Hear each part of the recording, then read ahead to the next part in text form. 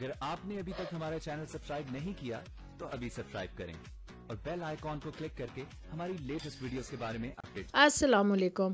ہم آپ کو اپنے چینل میں خوش آمدید کہتے ہیں۔ آج ہم آپ کو بتائیں گے خیام کے ساتھ کیا ہوتا ہے جب وہ ستارہ بیگم کے چبارے سے بھاگتا ہے۔ خیام الماس کے تانوں سے گھبرا کر ستارہ بیگم کے چبارے سے زیور چوری کر کے بھاگ تو جاتا ہے، لیکن گیتی کی تو دنیا ہی اجڑ جاتی ہے۔ الماس کے چبارے میں مٹھائیاں بانٹی جاتی ہیں۔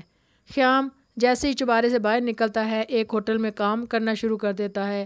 ساتھ میں اپنی پڑھائی بھی جاری رکھتا ہے۔ کسی کو بھی اپنے بارے میں کچھ نہیں بتاتا۔ اسی دوران میں اس کا سارا زیور چوری ہو جاتا ہے۔ مگر وہ ڈر کر رپورٹ بھی نہیں لکھواتا۔ کہیں اس کی اصلیت سامنے نہ آ جائے اور ستارہ بیگم کو اس کے بارے میں پتہ نہ چل جائے۔ زیور چوری ہونے کی وجہ سے پڑھائی بھی چھوٹ جاتی ہے۔ جب سالار قیام کو تلاش کرتا ہوا ہوٹل جائے گا تو وہ وہاں سے بھی بھاگ جائے گا، کہیں مزدوری کرے گا تو کہیں بسکٹ اور بن بیچ کر گزارا کرے گا۔ اسی دوران میں سجاد سے ملاقات ہو جائے گی۔ سجاد سے ہوتا ہوا اسلام صحافی تک پہنچ جائے گا، جو اسے تارہ بیگم کے پاس چھوڑ گیا تھا۔ بڑی لمبی اور مشکل زندگی گزارے گا۔ پھر اسے اسلام صحافی ایک امیر کبھی شخص کے پاس لے جائے گا، جو اسے روتے ہوئے گلے لگائے گا۔ تب قیام کو پتہ چلے گا کہ وہ امیر آدمی اس کا باپ ہے، جو کافی عرصے سے اسے تلاش کر رہا تھا۔